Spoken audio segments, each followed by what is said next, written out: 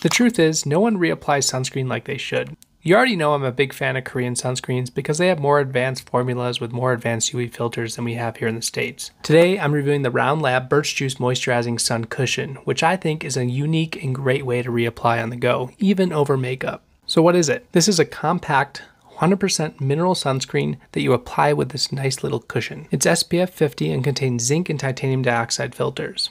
What I really like though is how moisturizing it is. It also has glycerin, hyaluronic acid, and soothing aloe extract, and there's zero scent. It left a nice velvety finish with minimal white cast if that. Check it out through the link in my bio.